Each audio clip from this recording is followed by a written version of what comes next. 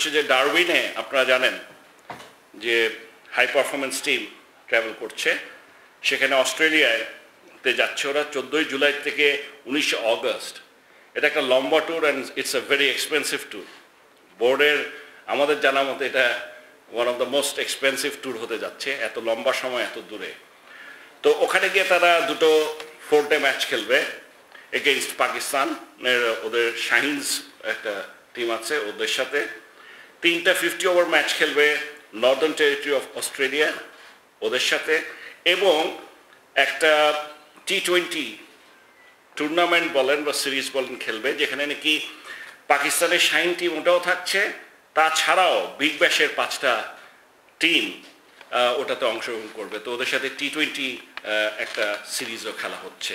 So এই ধরনের এত বড় টুর্নামেন্ট সাধারণত আমরা এর আগে কখনো করিনি, সেটা করেছে এবং এটা ইনিশিয়েশনটা হয়েছে বেশ আগের থেকেই।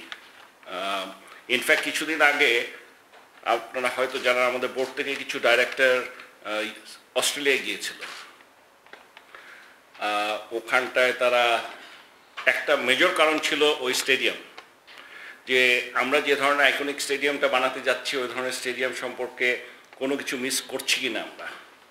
কারণ আমরা যেটা বানাতে চাচ্ছি, ওই ধরনের স্টেডিয়ামের সাথে আমরা যখন বিদেশে যাই, বিশেষ করে ধরেন আমরা ইংল্যান্ড, অস্ট্রেলিয়া, ওসব দেশে যখন যাই, তখন দেখি অনেক পার্থক্য। আমরা যতই সব ক্রাইটেরিয়া ফুলফিল করি না কিন্তু দেখতে বা কিছু কিছু জিনিস হচ্ছে অনেক পার্থক্য মনে হয়। সো আমাদের ইচ্ছাটা হলো যে, যেহেতু একটা করব যখন, এটা আইকনিক ওরকম করতে চাই। পারব কি না সেটা পরের কথা বাট ওটা আমাদের ইচ্ছা। সো ওটা দেখতে গিয়েছিলাম এবং তাছাড়াও এর সাথে সাথে যেটা হয়েছিল যে, অন্যান্য অস্ট্রেলিয়াতে ক্রিকেট সংক্রান্ত যা যা আছে সব কিছু তো এখানে দুর্জয় ছিল? দুর্জয়? ও দুর্জয় ছিল না।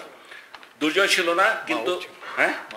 মাহবুব। ভাই ছিল হ্যাঁ। কিন্তু আমি বলছি দুর্জয় ইনফ্যাক্ট এই টুর্নামেন্টটার ব্যাপারে সবচেয়ে বেশি ইন্টারেস্ট শো করে দুর্জয়।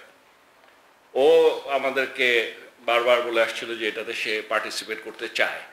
তো এখানটায় আমরা যেটা করছি সাধারণত যেটা হয় যে এইচপির টিম শুধু যায় এখানে আমরা এইচপির সাথে কিছু মিক্সও করেছি। আমাদের যেমন ধরেন যারা নাকি ন্যাশনাল টিমের দু একটা প্লেয়ার আছে যারা নাকি লঙ্গার বাসিং ক্রিকেট খেলে টেস্ট ওদেরকেও পাঠাচ্ছি। আবার এই টিমেরও হয়তো কেউ হ্যাঁ?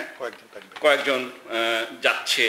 সো এটা আমরা আসলে বেসিক্যালি আমাদের ফিউচার নেক্সট কারা ওই ধরনের কন্ডিশনে গিয়ে ওই ধরনের দলের সাথে খেলে কিছু এক্সপিরিয়েন্স আমাদেরও হবে ওদেরও হবে সেটাই আসলে আইডেন্টিফাই করার জন্য।